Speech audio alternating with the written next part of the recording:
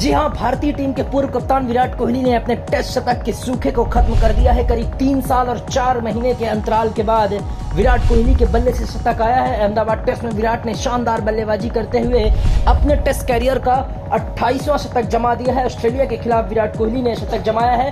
आपको बता दें कि ऑस्ट्रेलिया के खिलाफ सबसे ज़्यादा शतक लगाने के मामले में विराट कोहली दूसरे स्थान पर पहुँच गए हैं। सचिन तेंदुलकर के बाद विराट का नंबर है, जहाँ सचिन ने ऑस्ट्रेलिया के खिलाफ 20 शतक लगाए थे सभी फॉर्मेट्स में तो वहीं विराट ने 16 शतक लगा चुके हैं। तो इस वक्त बड़ी खबर, भारत के पूर्व कप्तान विराट कोहली ने अपने टेस्ट में शतक के सूखे को खत्म कर दिया है। आपको बता दें कि इससे पहले 22 नवंबर 2019 को विराट कोहली ने टेस्ट में शतक लगाया था, तब विराट ने एक सौ उनतालीस रनों की पारी खेली थी। ऑस्ट्रेलिया में फ़िलहाल अहमदाबाद में सीरीज़ का चौथा टेस्ट मैच चल रहा है। आपको बता दें कि अहमदाबाद के नरेंद्र मोदी स्टेडियम में बॉर्डर गवास्कर ट्रॉफी का चौथा टेस्ट मैच चल रहा है, जहाँ ऑस्ट्रेलिया ने पहली पारी में 480 रनों का विशाल स्कोर खड़ा किया था तो वहीं जवाब में भारतीय टीम भी शानदार तरीके से पलटवार करती हुई नज़र आ रही है। आज टेस्ट मैच का चौथा दिन है तो यहाँ जिस तरीके से अभी तक का खेल चल रहा है, भारत ने 400 का आंकड़ा पार कर लिया है और अभी उसके पाँच विकेट बाकी है। उम्मीद की जा रही है कि अहमदाबाद टेस्ट में भारत लीड ज़रूर लेगा, क्योंकि ये मैच वर्ल्ड टेस्ट चैंपियनशिप के फाइनल के लिहाज से बहुत अहम है। यदि भारतीय टीम जीतती है तो सीधे